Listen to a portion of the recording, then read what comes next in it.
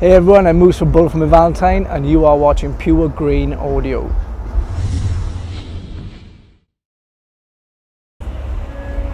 It's like a set of lungs.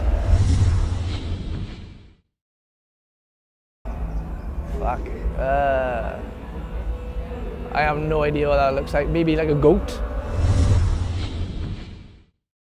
A turtle with no shell.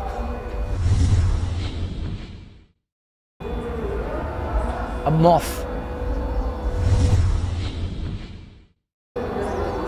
Padge's underwear. My guitar player's underwear.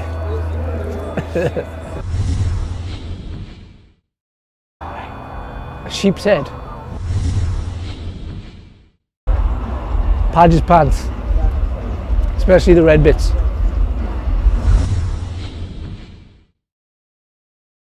A fly's face.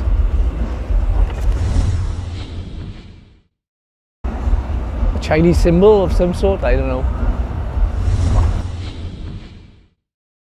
A clown's face.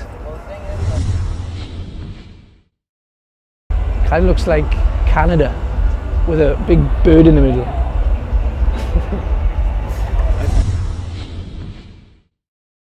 That looks like a like an alien skeleton, if I ever seen one.